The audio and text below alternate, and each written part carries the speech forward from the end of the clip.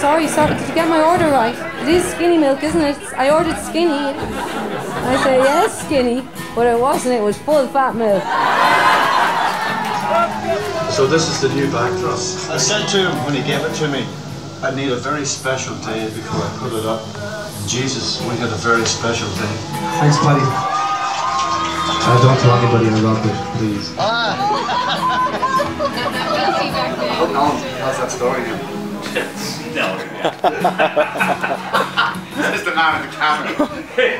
He's only here to get a picture of that to go with the story. When I would come into the meeting part, we making always someone there, so I would be in the farm, always go straight away and never have much meat. No, you're in Balcom. I wasn't very farm.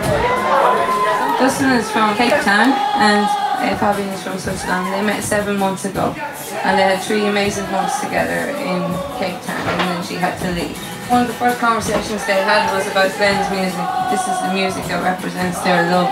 So they met in Ballycotton today and uh, they didn't know about Glen's gig. Oh my And they were walking up the street about two hours ago to get some food and they saw Glen's name outside. They thought it was maybe a tribute band or something. They found it.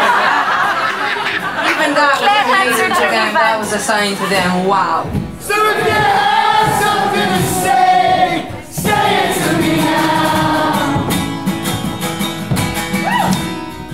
Say it to me now. Whoa.